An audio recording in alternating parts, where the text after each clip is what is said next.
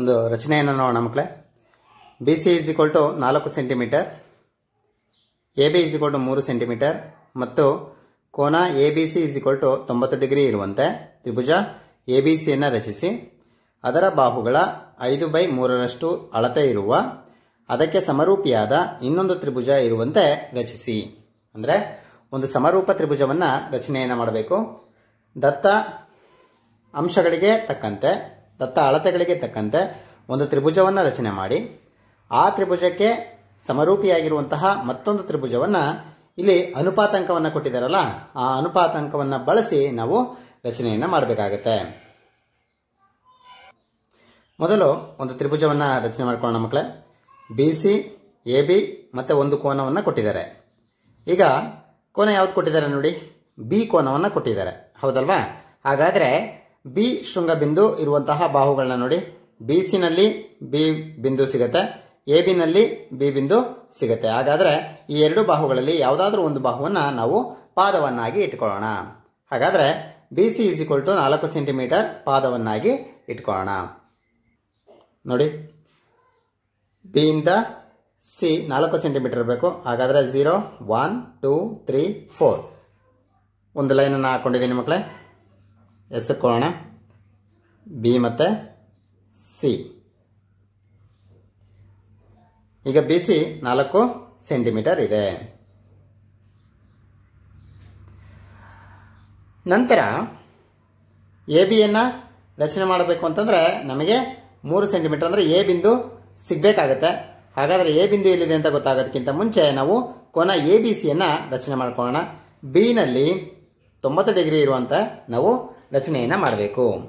ನಿಮಗೆ ತೊಂಬತ್ತು ಡಿಗ್ರಿಯನ್ನು ಕೋನಮಾಪಕ ಬಳಸಿ ಬೇಕಾದರೂ ಮಾಡ್ಬೋದು, ಅಥವಾ ಸ್ಕೈವಾರದಿಂದ ಸಹಾಯದಿಂದನೇ ಕೂಡ ನಾವು ಮಾಡಬಹುದು.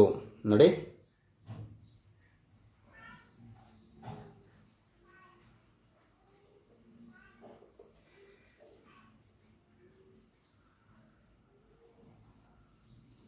ಈ ರೀತಿ ಮಾಡ್ಕೋತೀರಲ್ವಾ? ಎಷ್ಟು ತ್ರಿಜ್ಯ ಇರುತ್ತೋ ಅಷ್ಟೇ ತ್ರಿಜ್ಯದಿಂದ ಎರಡು ಭಾಗಗಳನ್ನ ಮಾಡ್ಕೊಳ್ಳಿ. ನೋಡಿ. ಇಲ್ಲಿಗೆ ಅರುವತ್ತು ಡಿಗ್ರಿ ಇರುತ್ತೆ. ನಂತರದ ಭಾಗದಲ್ಲೂ ಕೂಡ ಮತ್ತೆ ಅರುವತ್ತು ಡಿಗ್ರಿ ಇರುತ್ತೆ. ಟೋಟಲ್ ಆಗಿ ಇಲ್ಲಿಂದ ಇಲ್ಲಿಗೆ ಎಷ್ಟಾಯಿತು? ನೂರ ಇಪ್ಪತ್ತಾಯಿತು ಮಕ್ಕಳೇ ಈಗ ಈ ಕಂಸದಿಂದ ಒಂದು ಕಂಸ. ಹಾಗೆಯೇ ಈ ಕಂಸದಿಂದ ಮತ್ತೊಂದು ಕಂಸವನ್ನು ಈ ರೀತಿ ಹೇಳಿದ್ರೆ ನಿಮಗೆ ಈ ಅರುವತ್ತು ಡಿಗ್ರಿ ಅಂದರೆ ಈ ಅರುವತ್ತು ಡಿಗ್ರಿಯ ಕೋನಾರ್ಧಕ ರೇಖೆಯನ್ನು ನಾವಿಲ್ಲಿ ರಚಿಸಿದಂತೆ ಆಗುತ್ತೆ. ಹಾಗಾದರೆ ನೋಡಿ.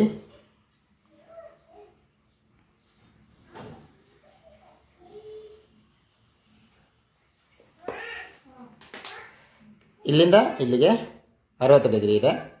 ಇಲ್ಲಿಂದ ಇಲ್ಲಿಗೆ ಮೂವತ್ತು ಡಿಗ್ರಿ ಇದೆ. ಅರವತ್ತು, ಮೂವತ್ತು, ತೊಂಬತ್ತು ಡಿಗ್ರಿ ಆಯಿತು. ಈ ರೀತಿ ಬೇಕಾದರೂ ರಚನೆ ಮಾಡ್ಕೋಬೋದು. ಅಥವಾ ಕೋನ ಮಾಪಕವನ್ನು ಬೇಕಾದರೂ ನಾವು ಬಳಕೆ ಮಾಡಿಕೊಂಡು ರಚನೆಯನ್ನು ಮಾಡ್ಬೋದು. ಅಂದರೆ ಕೋನ ಬಿನಲ್ಲಿ ಬಿ ಬಿಂದುವಿನಲ್ಲಿ ಕೋನ ಮಾಪಕವನ್ನು ಇಟ್ಕೊಂಡು ನಿಮಗೆ ತೊಂಬತ್ತು ಡಿಗ್ರಿಗೆ ನಾವು ಮಾರ್ಕನ್ನು ಮಾಡಿಕೊಂಡ್ರೆ, ಅರ್ಥ ಆಯ್ತಾ ಮಕ್ಕಳೇ ಇಲ್ಲಿ ತೊಂಬತ್ತು ಡಿಗ್ರಿನ ಮಾರ್ಕ್ ಮಾಡಿಕೊಂಡು ನಾವು ಇದನ್ನು ಸೇರಿಸಿದ್ರೆ ನಮಗೆ ತೊಂಬತ್ತು ಡಿಗ್ರಿ ಇರುವಂತಹ ಒಂದು ರೇಖೆಯನ್ನು ರಚನೆ ಮಾಡಿದ ಹಾಗಾಗತ್ತೆ. ಈಗ ಎ, ಬಿ ಮೂರು ಸೆಂಟಿಮೀಟರ್ ಇರಬೇಕು. ನೋಡಿ ಬಿಯಿಂದ ಈ ಲೈನ್ ಮೇಲೆ ಎಲ್ಲೋ ಒಂದು ಕಡೆ ಎ ಬಿಂದು ಇರುತ್ತೆ. ಎಷ್ಟು ದೂರದಲ್ಲಿರುತ್ತೆ? ಮೂರು ಸೆಂಟಿಮೀಟರ್ ದೂರದಲ್ಲಿರುತ್ತೆ. ಹಾಗಾದರೆ ಸ್ಕೈವಾರದ ಸಹಾಯದಿಂದ ಮೂರು ಸೆಂಟಿಮೀಟರ್ ತ್ರಿಜ್ಯವನ್ನು ಇಟ್ಟುಕೊಂಡು ಡಿ ಬಿಂದುವಿನಿಂದ ಒಂದು ಕಂಸವನ್ನು ಕತ್ತರಿಸ್ಕೊಳ್ಳಿ. ಸರಿನಾ ಮಕ್ಕಳ? ಈಗ ಈ ಬಿಂದುವಿಗೆ ನಾವು ಎ ಅಂತ ಎಸೆಕೋಣ ಎ ಇಂದ ಸಿ ಅನ್ನು ಸೇರಿಸೋದು.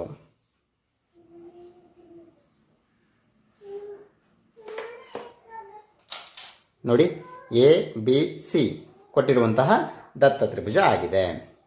ಈಗ ಎ ಬಿ ಸಿಗೆ ಸಮರೂಪವಾಗಿರುವಂತೆ ಒಂದು ತ್ರಿಭುಜವನ್ನು ರಚಿಸಬೇಕಾಗಿರೋದ್ರಿಂದ ಬಿ ಸಿ ಬಾಹುವಿನ ನೋಡನೆ ಲಘುಕೋನ ಏರ್ಪಡುವಂತೆ ಒಂದು ಸರಳ ರೇಖೆಯನ್ನು ರಚಿಸ್ತಾ ಇದ್ದೀನಿ. ಸರಿ ಮಕ್ಕಳ? ಈ ರೇಖೆಗೆ ಎಕ್ಸ್ ಅಂತ ಹೆಸರುಕೋಣ ಬಿ ಎಕ್ಸ್ ಸರಳ ರೇಖೆ ಆಗಿರುತ್ತೆ ಅಂತ ಅಂದ್ಕೋಣ ಈಗ ಬಿ ಎಕ್ಸ್ ಸರಳ ರೇಖೆಯನ್ನು ಅವರು ಕೊಟ್ಟಿರುವಂತಹ ಅನುಪಾತಾಂಕವನ್ನು ಗಮನಿಸಿ. ಐದು ಬೈ ಮೂರು ಅಂತ ಅನುಪಾತಾಂಕವನ್ನು ಕೊಟ್ಟಿದ್ದಾರೆ. ಐದು ಬೈ ಮೂರು, ಇದರಲ್ಲಿ ದೊಡ್ಡ ಸಂಖ್ಯೆ ಯಾವುದು? ಐದು. ಆ ಐದನ್ನು ಈ ಬಿ ಎಕ್ಸ್ ಲೈನನ್ನು ಐದು ಸಮಭಾಗಗಳನ್ನಾಗಿ ನಾವು ಭಾಗ ಮಾಡಬೇಕಾಗತ್ತೆ. ನಿರ್ದಿಷ್ಟ ತ್ರಿಜ್ಯವನ್ನು ಇಟ್ಕೊಳ್ಳಿ ಮಕ್ಕಳೇ ಎಷ್ಟಾದರೂ ಆಯಿತು. ನಿರ್ದಿಷ್ಟ ತ್ರಿಜ್ಯವನ್ನು ಇಟ್ಕೊಳ್ಳಿ. ಅದೇ ತ್ರಿಜ್ಯದಿಂದ ನಾವು ಬಿ ಎಕ್ಸ್ ಲೈನನ್ನು ಎಷ್ಟು ಭಾಗ ಮಾಡಬೇಕು? ಐದು ಭಾಗ ಮಾಡಬೇಕು. ನೋಡಿ, ಇಲ್ಲಿಂದ ಬಿಯಿಂದ ಒಂದು, ಎರಡು, ಮೂರು, ನಾಲ್ಕು,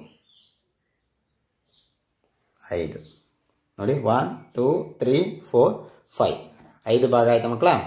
ಇದನ್ನು B one B two B three B four B five ಅಂತ ಕರ್ಕೊಳ್ಳೋಣ. ಈಗ ಏನು ಮಾಡ್ತೀವಿ ಅಂದರೆ ಛೇದವನ್ನು ಗಮನಿಸಬೇಕು ಇವಾಗ.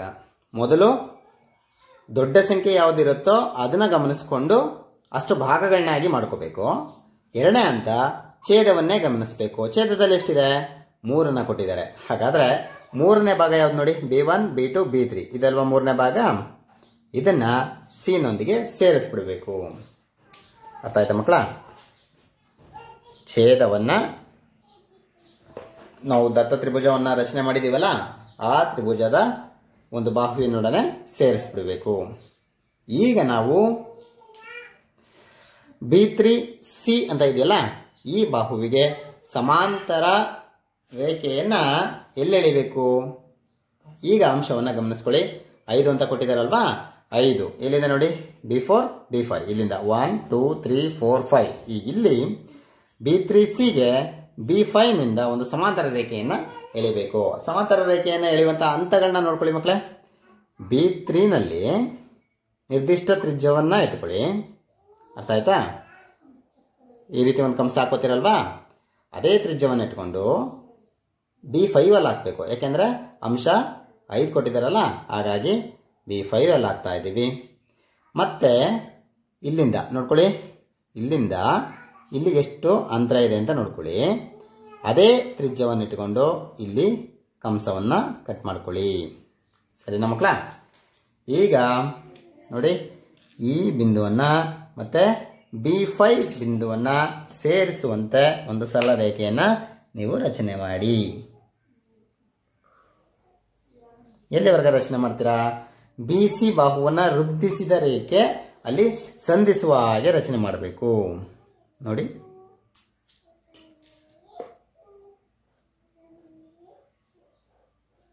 ಸರಿನಾ ಮಕ್ಕಳ, ಬಿ ಸಿನ ವೃದ್ಧಿಸಿದ್ರೆ ಇಲ್ಲಿ ಸಂಧಿಸುತ್ತೆ. ನೋಡಿ, ಇದನ್ನ ಸಿ ಡ್ಯಾಶ್ ಅಂತ ಕರ್ಕೊಳ್ತಾ ಇದ್ದೀನಿ ಮಕ್ಕಳೇ. ಬಿ ಫೈ ಸಿ ಡ್ಯಾಶ್ ಅನ್ನೋದು ಬಿ ತ್ರೀ ಸಿಗೆ ಸಮಾನಾಂತರವಾಗಿದೆ. ಅರ್ಥ ಆಯ್ತಾ ಮಕ್ಕಳ? ಈಗ ಕೊನೆ ಹಂತ ಸಿ ಎ ಇದೆಯಲ್ವಾ? ಸಿ ಎ ಬಾಹುವಿಗೆ ಸಿ ಡ್ಯಾಶ್ನಿಂದ ಒಂದು ಸಮಾಂತರ ರೇಖೆಯನ್ನು ರಚಿಸಬೇಕು. ಹಾಗಾದರೆ ಸಿ ಬಿಂದುವಿನಿಂದ ನೋಡಿ, ನಿರ್ದಿಷ್ಟ ತ್ರಿಜ್ಯವನ್ನು ಇಟ್ಕೊಂಡು ಈ ರೀತಿ ಒಂದು ಕಂಸವನ್ನು ಹಾಕೊಳ್ತೀರಲ್ಲ, ಅದೇ ತ್ರಿಜ್ಯದಿಂದ ಸಿ ಡ್ಯಾಶಲ್ಲೂ ಕೂಡ ಒಂದು ಕಂಸವನ್ನು ನೀವು ರಚನೆ ಮಾಡ್ಕೋಬೇಕು.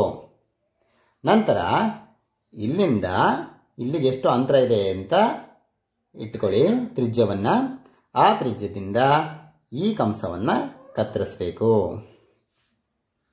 ಸರಿನಾ ಮಕ್ಕಳ? ಈಗ ನೋಡಿ.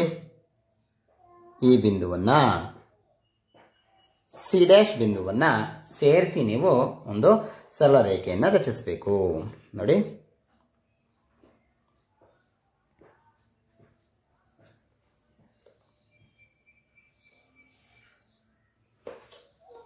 ಸರಿನಾ ಮಕ್ಕಳ ಈಗ ಬಿ, ಎ ರೇಖೆಯನ್ನು ಸ್ವಲ್ಪ ಭಾಗ ವೃದ್ಧಿಸಿ ನೋಡಿ, ಇಲ್ಲಿಗೆ ಎ